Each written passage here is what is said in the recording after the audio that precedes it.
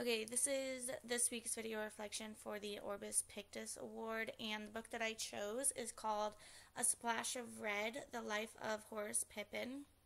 Um, it is written by Jen Bryant, and the illustrator is Melissa Sweet.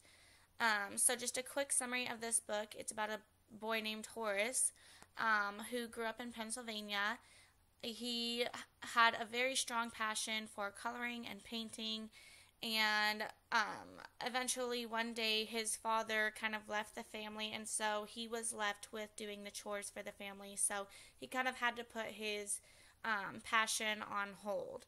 And while he did that um, he ended up moving to new york.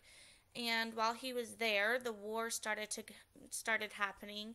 And he really wanted to help out our country so he went to war and fought um, where he actually ended up getting hit in his right shoulder, which caused him to be sent home. And when he came back home, he was really devastated because no one would take him because no one would ask or he couldn't work anywhere because his shoulder was hurt.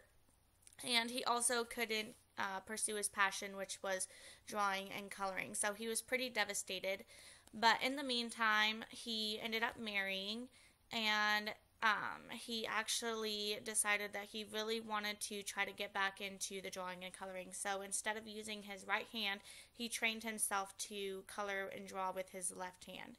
And so after years and years of practice doing that, he his artwork finally got noticed and um, it was finally displayed in newspapers and galleries and museums and it was bought by um, mil- like a lot of collectors and movie stars and all of that um, so the illustrations in this book were done with watercolor, uh, gouache, gouache, whatever, and collage, um, which was inspired by Horace Pippin's deep, rich colors. So in the book, um, here's him as a little boy sitting down, like when he first discovered his passion for coloring.